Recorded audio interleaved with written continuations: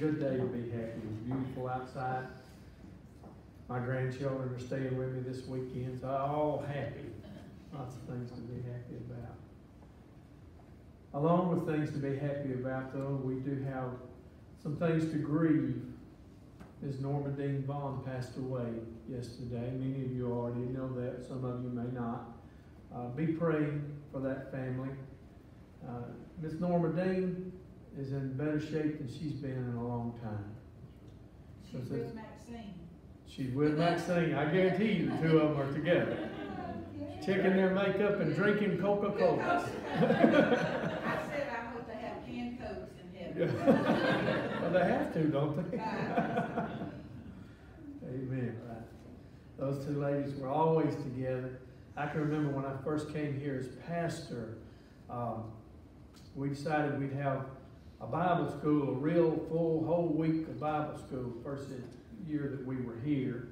Uh, they hadn't had that in a few years, hadn't had too many children in a few years. But the two of them just jumped right in. And uh, they were ready to go and were always ready to go as long as they were able.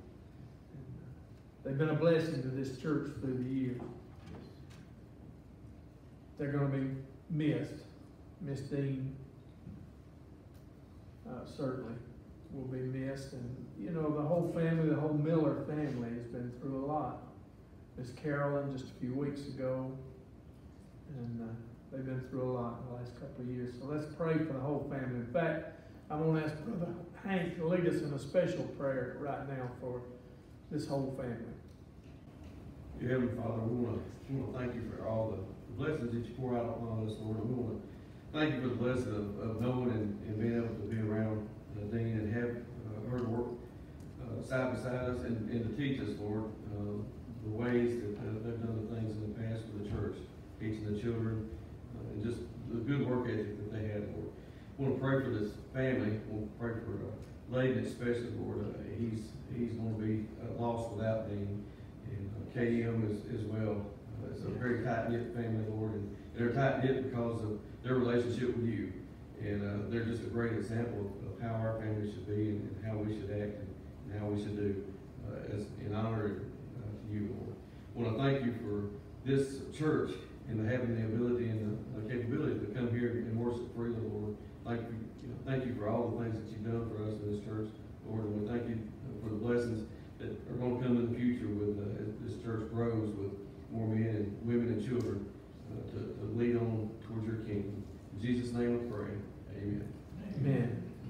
Thank you, Brother Hank. I want to mention too, I mentioned Bible school, but I want to mention uh, that we are about to have a video Bible school uh, where kids can be in Bible school at home. Now, I don't know exactly how that's all going to work, but uh, I'm excited that we're reaching out to our kids.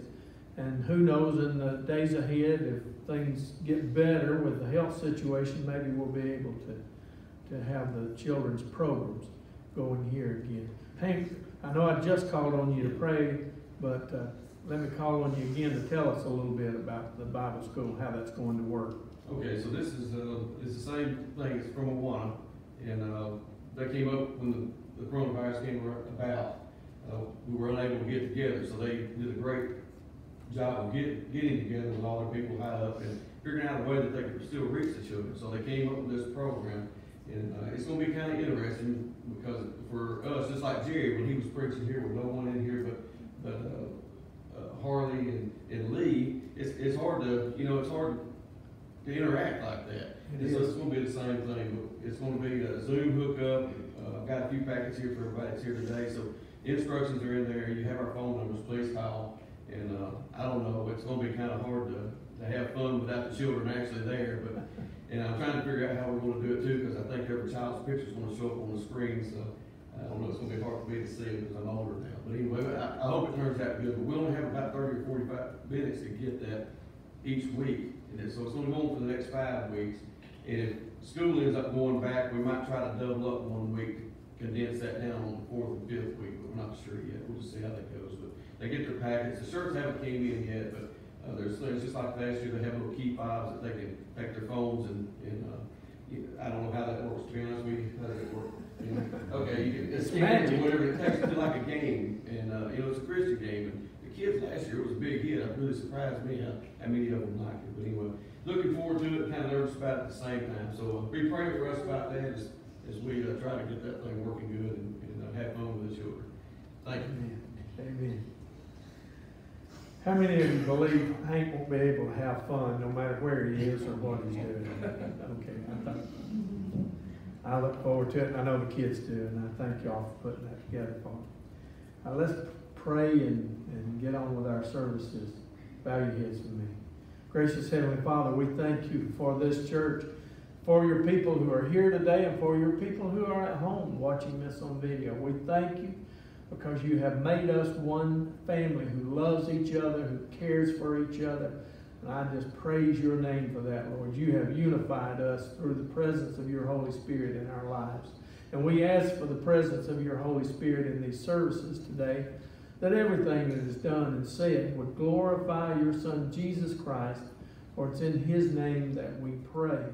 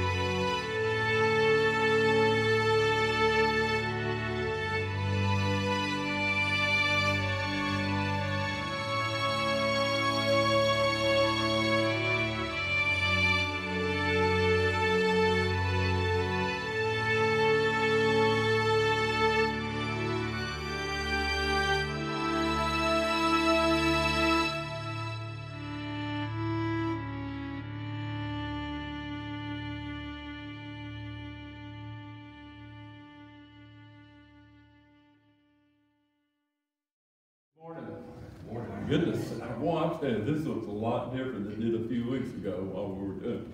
As Hank said, uh, it's kind of hard to interact. We tried our best, and I think Jerry did a wonderful job. However, I found out that I am the king of the bloopers. We have a lot of bloopers, and I had a lot of them that we that I could have shown, but it would probably take about ten minutes to show all the ones that I messed up on. But I, we have a video here this morning that we think uh, you'll enjoy. It's uh, while we were uh, doing the video church, uh, we made some bloopers. So we're going to let you see these bloopers.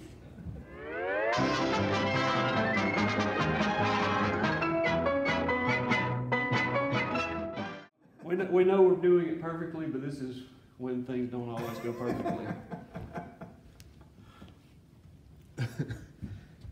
Uh, you, I A short one right now, so stand up and sing and dance around.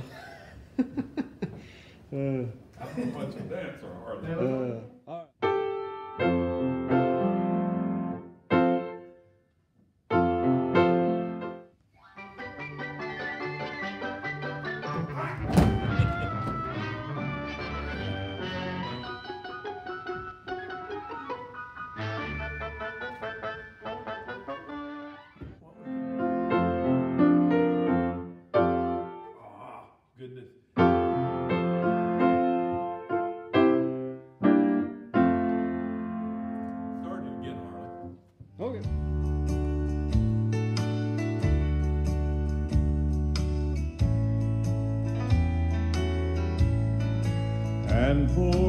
Saved by grace, I spoke up your honor. I have no defense.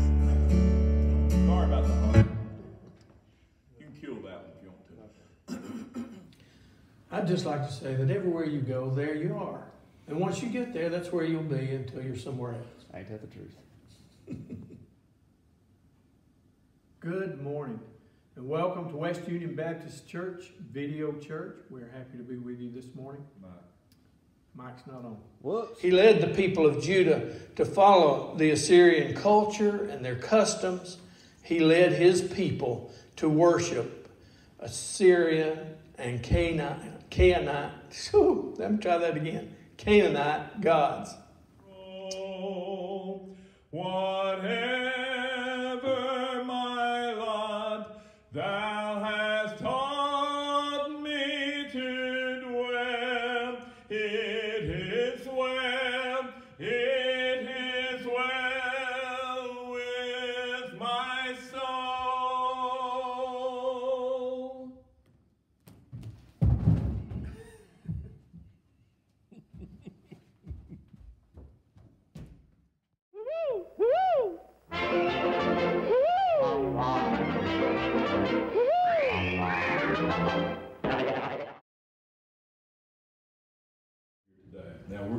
somebody that's gonna come, and I guarantee this won't be a blooper.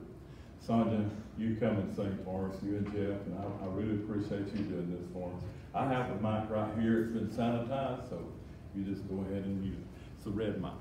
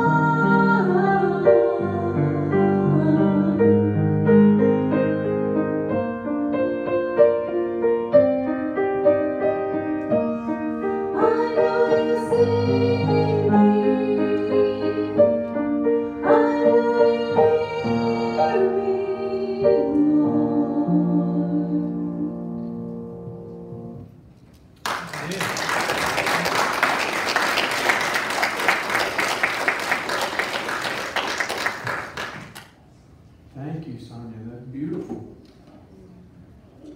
Thank you, Jeff, and Lee, and Harley, and all of those who make all of what we do here possible. I guess you saw, though, what a great job of editing Lee is able to do every week.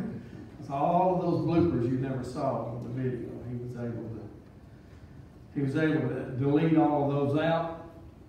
Now, last week, as you recall, I'm to try not to do that this week, but last week I just blew right through two verses and didn't reread them for you again. I'm going to try to go through it and read them for you this week. You turn in your Bibles to Luke chapter 4. We're going to look at verses 16 through 21 of Luke chapter 4.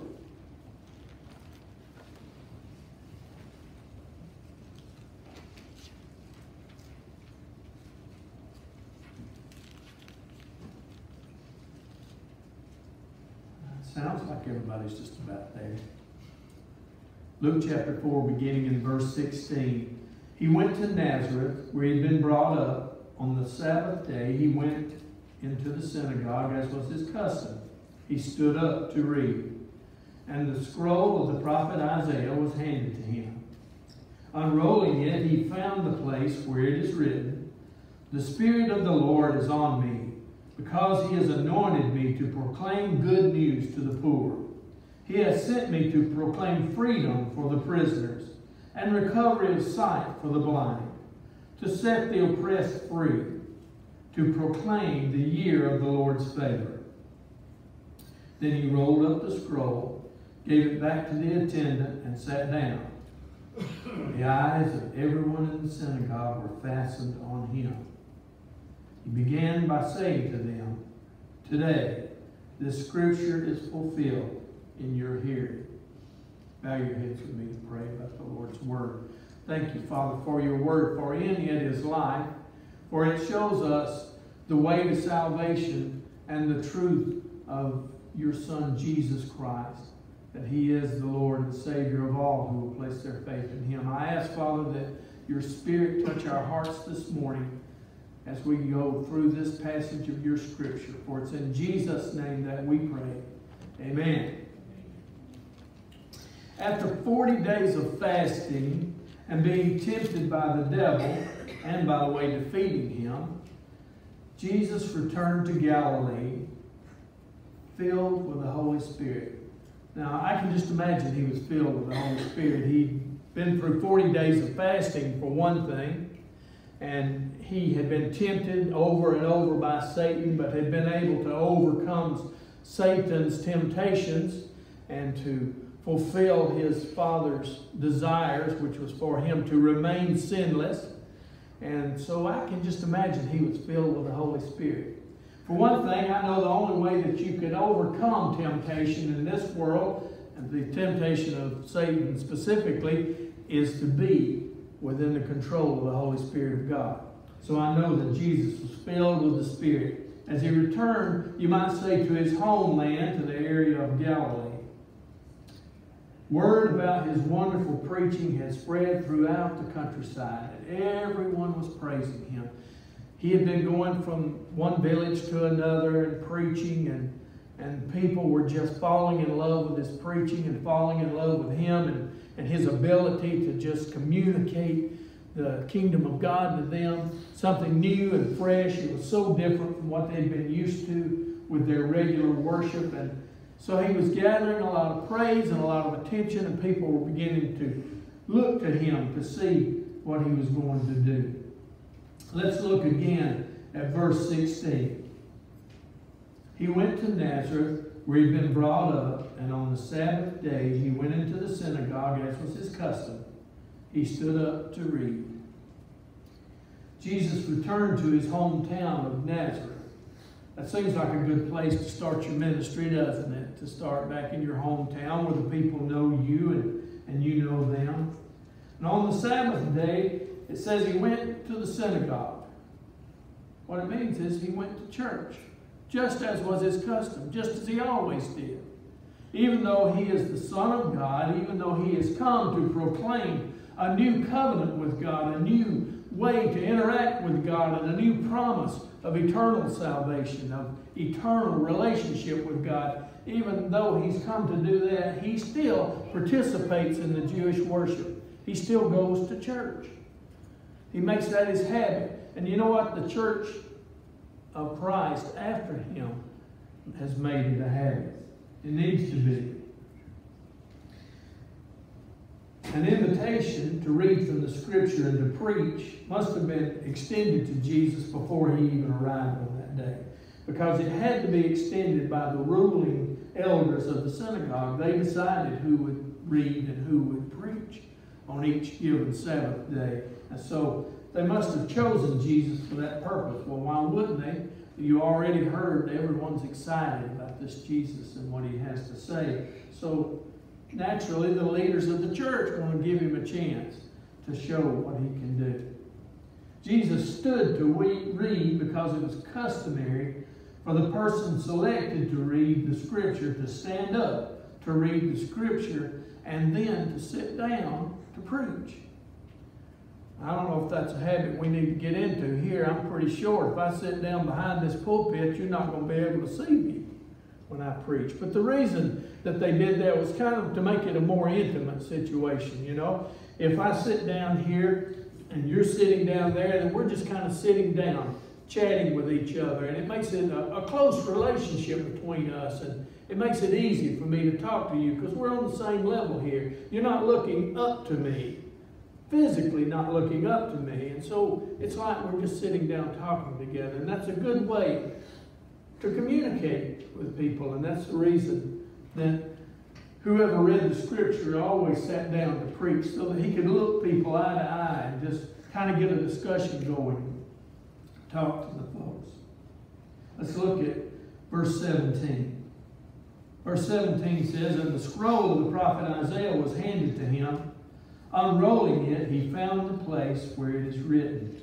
I'm going to read you the rest in a moment. It's no accident that the scroll was the scroll of the prophet Isaiah. It was handed to Jesus to read because it's what my mother calls a God moment. Jesus was in the right place where God wanted him to be that Sabbath in the synagogue in his hometown. And the scripture was there for him to read because the message that he had to preach, that he had to give to the people, is in that scroll of Isaiah. So it was no accident he was given that scroll. You know, when the Dead Sea Scrolls were discovered, it was found that the entire book of Isaiah was on one scroll. That meant he could take the entire book of Isaiah and pick out any scripture from it that he wanted to read. And again, that was because God had a specific message that he wanted to get across to the people. Jesus had freedom to choose his passage. He probably quoted from memory instead of reading on that day. And the reason I say that is because he is the source of this word, this Bible, of the scrolls, of all of the scripture. God Himself. It's His Word. Jesus and God are one, so that He knew what was in that Word, every word of it, before He ever opened that scroll. And what He read to us, or what He spoke to us, is a combination of Isaiah 61, verses 1 and 2, and Isaiah 58, verse 6, because He left off part of verse 2 of Isaiah 61. I'll talk to you more about that later. Now let's look at Luke 4, verses 18 and 19 again. And this is where, you know, it says, where it is written, The Spirit of the Lord is on me, because he has anointed me to proclaim good news to the poor. He has sent me to proclaim freedom for the prisoners and recovery of sight for the blind, to set the oppressed free to proclaim the year of the Lord's favor. These are the words that Jesus spoke to those people, and he speaks to our hearts today. The text in Isaiah says this The Spirit of the Lord is on me. And Jesus was certainly filled with the Holy Spirit of the Lord as he has come from his 40 days of testing in the wilderness. And Jesus has been anointed at his baptism as the Holy Spirit descended upon him like a dove. In other words, he says he's anointed in here to give this message. And he was anointed on that day when he was baptized, you recall, when people actually saw the Spirit of God come down upon Jesus on that day. So he's anointed for one purpose, and that is to proclaim the good news. And I want you to know the good news was then and still is now that God has sent his only begotten Son. That whoever will believe in him will not perish, but have everlasting life. This is the gospel in a nutshell. And the gospel literally means the good news. And that's what Jesus has come to proclaim. He's been specifically chosen by his Father to do that. When Jesus proclaims the gospel to the poor, he's certainly talking about those who are economically poor. But not only to them, but also to those who are poor in spirit and humble in their spirit. For the people who are poor in their spirit and humble in their spirit place all of their hope in God. They have nothing in this world to give them hope. They don't have money. They don't have things. They don't have the things that these, this world offers. But what they do have is a hope that God hears them and that He sees them and that He cares for them and that He will provide for them what they need. So those who are poor in spirit need the good news of the gospel, and Jesus comes to proclaim it to them. The prisoners to be set free are those who are captivated by the clutches of sin. They are people not unlike us in this world who become so caught up in sin that, that they can't seem to escape.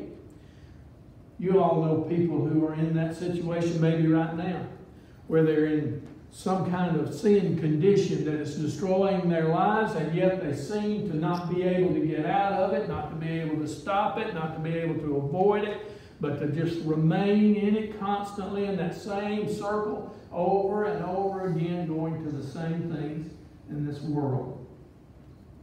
The blind are those who are deceived by their own lust for the things of this world, who are fooled by their own pride and their selfishness they are often blinded by their religion, yet have lost the sight of God Himself.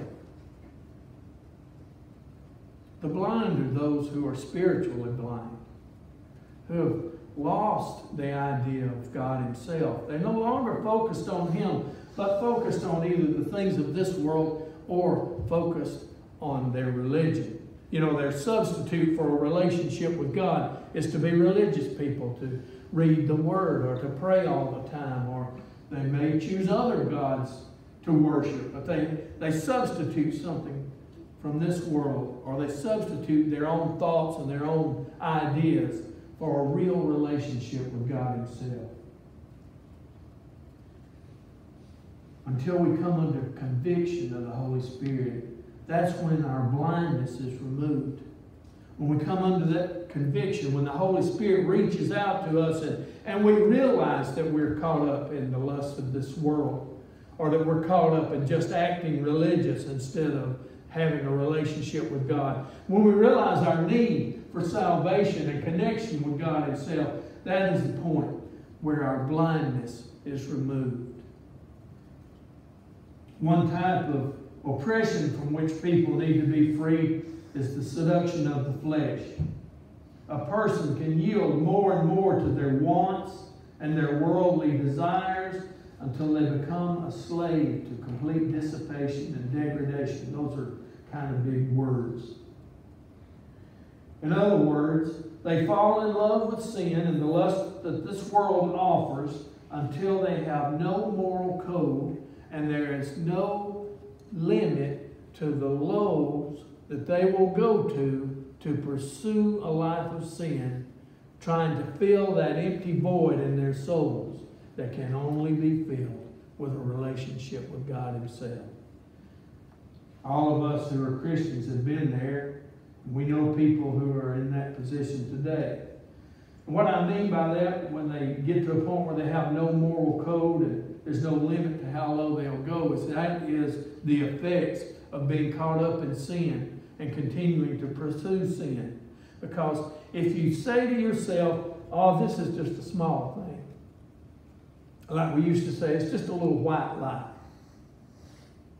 won't do any harm at all. And you, you agree that what's wrong is right, and you agree that, that you're going to just let that go, then the next thing that comes along is just as easy to let go.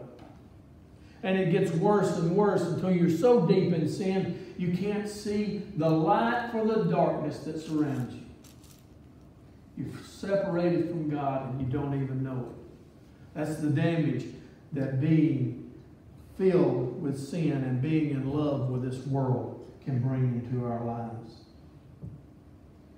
We also, especially in times like these that we're going through right now, must be wary of falling for dangerous ideas and or leaders who would oppress our souls and steal our dignity and our hope from us. What do I mean by that? Jesus has said here that he's come to free people from oppression. I want to read to you from the 1952 version of the Interpreter's Bible because there it's put this way. In discouraged and disorganized times, not unlike the times that we're living in, individuals feel a sense of inadequacy and frustration, and they grow helpless as to working out any successful destiny of their own. In other words, people in situations like our world is going through right now become so, so disappointed, so unhappy, so unsuccessful in seeing the light at the end of the tunnel, so miserable with the way things are going, so frustrated with their inability to do anything about it, that they will listen to and follow ideas that are not from God. People deliberately seek to yield up their individualities with all of their burdens of their unsure choices to some masterful spirit who claims the right to rule. In times like these, don't let individuals or groups tell you what or who is right or wrong.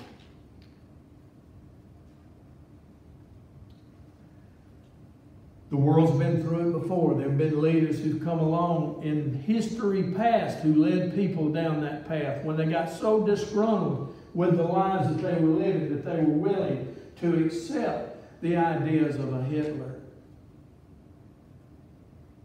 or the ideas of a Caligula. Don't let that be our generation. Don't let the biased media or Facebook or Twitter decide for you what is right and what is wrong, or how to treat others in this human race that we are in with humanity and with dignity and with hope. Let Jesus' Holy Spirit and God's Word, this Holy Bible, lead you to love and respect all of your neighbors as you love and respect yourself. See, here is where the answers lie. It's not in politicians. It's not in groups marching in the street. It's not in violence or anger. The truth is this word. And in this word, one of the simple things that it says is love your neighbor as you love yourself. And you know what? If everybody in the world was living by that, we wouldn't have all of these things going on in the world. Even though there's a virus that's making people sick. You know, the virus we can overcome, but if we turn on each other, the harm of that may destroy us. May destroy us. We just need the Holy Spirit of God and His Word. Jesus, with the good news of the gospel, pro- proclaims, as he says here, the year of the Lord's favor. But now Isaiah 61 verse 2, I told you, is a little different from what Jesus said here because the second part of verse 2 says this, and the day of the Lord's vengeance. Not only do we have the year of the Lord's favor, but we have the day of the Lord's vengeance. The day of the Lord's vengeance we know as the day of the Lord, the end of time when Jesus is going to return, and at that moment, it's all going to be over. There won't be any more fussing and fighting because he's going to take everything over. And if you're outside of a relationship with Jesus Christ, if you do not know him as your Lord and Savior, you are going to be separated from God forever and you are bound in the long run for a lake of fire and torment. That's the day of the Lord. And it's going to come quickly and it will be here within an instant and all of a sudden it will be over. But you notice the year of the Lord's favor. And it's been two, over 2,000 years. The year of the Lord's favor is the time when everyone has the opportunity to gain that relationship with God simply by trusting in His Son, Jesus Christ. And He keeps that door open for as long as He possibly can so that every person who will be saved and come to Him can be saved. Now let's close with verses 20 and 21. Then he rolled up the scroll, gave it back to the attendant, and sat down. The eyes of everyone in the synagogue were fastened on him. He began by saying to them, Today, this scripture is fulfilled in your hearing. Jesus finished reading his text, and he gave the scroll back to the attendant and he sat down to preach. And the eyes of every hungry soul in the church were on him. And on this day, it would be best for all of us if the eyes of every hungry soul in this church were on Jesus. For in him is salvation. And he began his sermon not only his sermon, but his earthly ministry with these words Today, the scripture is fulfilled in your hearing. He was announcing to all of history God's new covenant with man is here in me. And if you will believe in me, you can have eternal life in the presence of God my Father and with me forever. Let's close with a word of prayer. Gracious Heavenly Father, I thank you for each one who is here today. I thank you for those at home. I ask, Father, that your Holy Spirit move in our hearts. And if any of us need to make decisions, Father, if there's one here or one out there who's seeing this video who needs to give their life to Jesus Christ, that they will know it is so simple to just pray and confess that you know He's the Son of God and that He came to save them, and confess that they are sinners in need of a Savior, and then just ask Him to come into their hearts and be their Lord and Savior forever. That is all that is necessary to do. And you can do that wherever you are in this world. Any Christian who is here who would like to rededicate their lives, recommit themselves to Jesus, that also can be done anytime and any place. You just be sincere and pray to Him and ask Him for His help and His guidance. Father, we ask you to be with all this morning and help us to see and know you. In Jesus' name we pray. Amen.